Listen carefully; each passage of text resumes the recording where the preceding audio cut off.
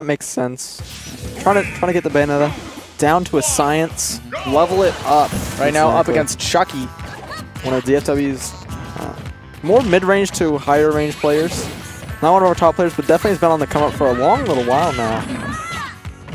And I'll see what he can do against this Bayonetta onslaught. Okay, getting aggressive with the fair back on stage so that Abadango just doesn't keep pushing him out. You know, that is that's his biggest uh, weakness is that recovery. So finding ways to mix it up and make it back on is important.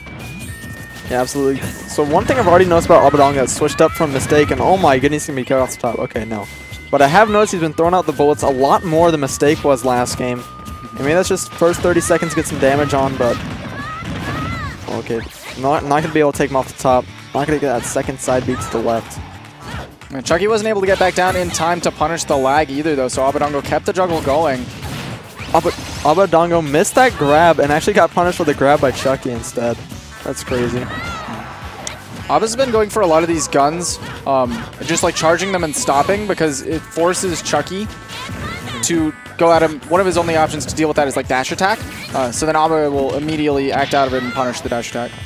Yeah, and speaking of punishes, he's been trying to punish this landing that Chuky keeps doing to get back to the ledge with the uh, up B so he can drift over to the ledge.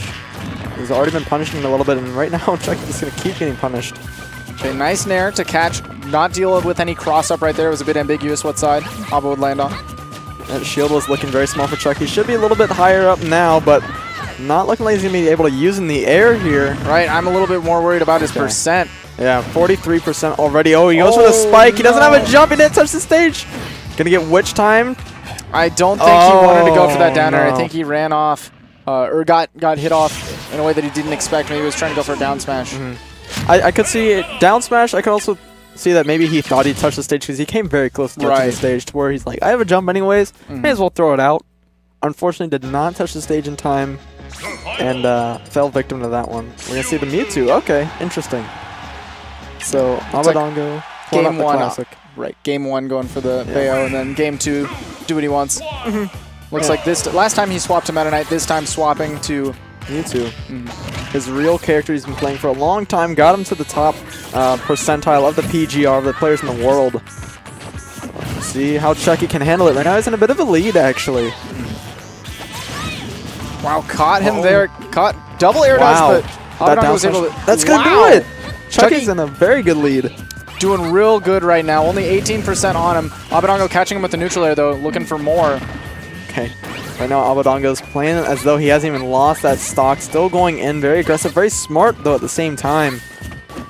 Using that top player privilege and the knowledge to try to bring it back against Chuky.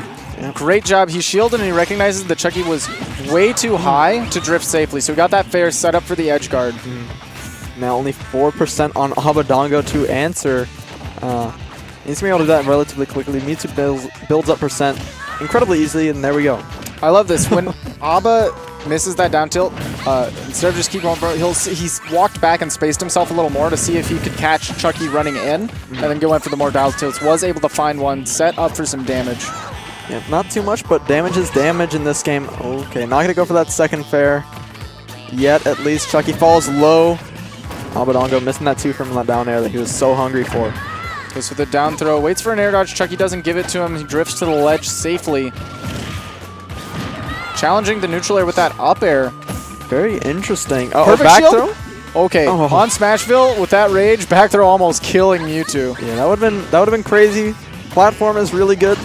Chuky getting a little bit of an absorb. He got pushed off stage, um, but he came out with a. Oh goodness, He needs to stop falling with that. Abadango's known that. Oh, gets the tech. Very, Okay. very smart. that was really smart but really risky by Abba. I think he intentionally went for the grab release, so it would force Chuky off stage in a position where it was easy to get the edge guard on that recovery, put Chuky in an uncomfortable position. He went for it. Um, Fair's gonna do it though. he was confident in getting the tech afterwards as well. Didn't throw it all away. Ended up sealing it.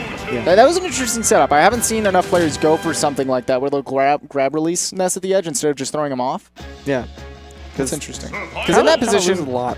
if he double jumps immediately, uh, he's going to go above the ledge. He has to wait a little bit if he wants to, you know, slowly drift, and then he's putting himself in a position where he can go down anyway.